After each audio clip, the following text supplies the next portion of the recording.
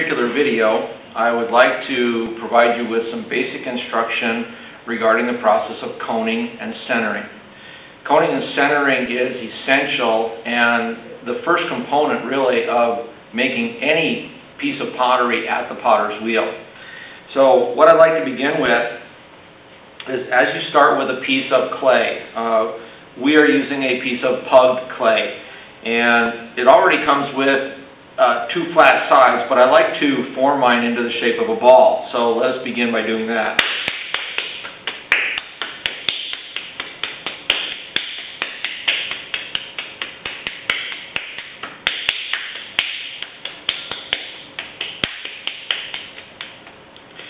I did so by gently patting the clay into the shape of a ball. Now as I begin, I'm going to, I, I have a bat, plastic bat, already set on the bat pins on my wheel head. I'm going to place the ball of clay in what I believe to be the center of the bat, and I'm going to spin the wheel by hand just to validate that the ball of clay is relatively centered at this point.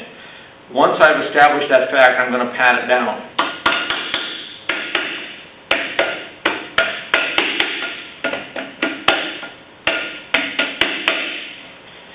Patting down the ball of clay helps to ensure that it is in fact stuck to the bat.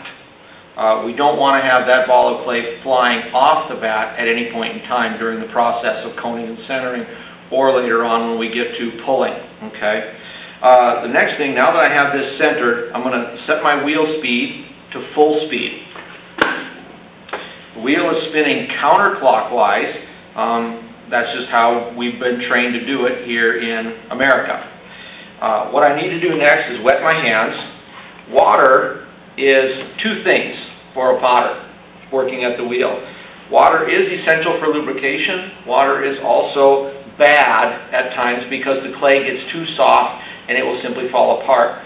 So you will have to find what that balance of water actually is for you. It is essential though that you have your hands wet because you do need lubrication. So as I begin, I'm going to I'm going to basically make an X with my thumbs, put my fingers together as I sit balanced with my feet on the floor and I'm sitting around the pan of the wheel just as if I were riding a horse. I want to maintain as much balance and control as I can when I'm working at the wheel. This is about a pound and a half worth of clay, uh, and it'd be very easy for an inexperienced potter to lose the battle against a pound and a half of clay. So, let's take every advantage that we can. Make sure our hands are wet, the wheel's spinning at full speed, cross your thumbs over, put your fingers together, and gently grasp the clay and press down. This helps to get the clay stuck to the bat. As I do this, I'm also keeping my arms, my elbows tucked in against my, my waistline, against my hips. That provides me with additional control. So as I start to squeeze this, you can see that I'm relatively centering that and creating a little dome shape. So now that I've done that, my point of contact was here at about 7 and 5. 7 and 5 is, is respective of where my forearms are coming into the clay at and where my hands are contacting the clay. It's about 7 o'clock with the left hand, 5 o'clock with the right hand. So as I do that, now I'm ready to cone. My coning, I'm going to switch this up a little bit. My left palm will come in at about 7 o'clock. My right fingertips are going to contact the clay opposite that at about 1 o'clock. I have on the pan those numbers, 7 and 1, for this reference. So my left palm with my elbow tucked in and my forearm braced across my, across my leg, I'm going to place my right thumb down here at the wrist, the bottom of my left thumb, lubrication, and I'm going to take my right fingertips and I'm going to squeeze those fingertips toward the heel of my left palm and move upward to create a cone shape. You always want to keep your hands at a cone shape when you're doing this. If your hands are straight up and down, you will have a straight up and down piece of clay. If your objective is to create a cone shape, you have to have your hands in that fashion. Now I'm ready to center. Centering is the portion where I'm pushing down. Here again, there's two primary methods for centering. In this case, I'm going to use just my left hand as the point of contact.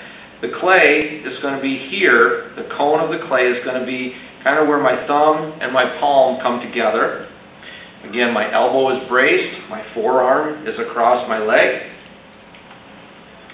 I'm using a little bit of moisture. Only my thumb and my index finger are contacting the clay. And I push down slowly, and you can see that the top of this piece of clay is becoming centered. It is what is round, okay, and perfectly centered. The bottom, I've not yet reached that point, so it's not centered. As I continue to push downward, my index finger is wrapped over the top to prevent that clay from mushrooming out and creating a mushroom effect. I want my ball of clay to be intact, to maintain integrity. So as I do this, as I continue to push down, I push down until I have a piece of clay that I can work with. Relatively speaking, this piece of clay is now centered. Okay, I'm going to do this one more time. My left hand at 7 o'clock, my right fingertips at 1 o'clock, my right thumb here on my wrist at the base of the left, water for lubrication. I'm going to squeeze inward and move upward. The important part of this process is to make sure that you're applying an even amount of pressure across all of your fingers and across your palm. If you fail to apply even amount of pressure, you risk getting what I call as a volcano. You'll have a little shaft down the center here that would resemble a volcano. And then you're going to pull clay over it and close it up, and thus you'll have an air pocket. It's an easy fix, and that's fixable with the centering process. So you can see again I've created a cone. I can do this one more time and create, make that cone a little bit taller.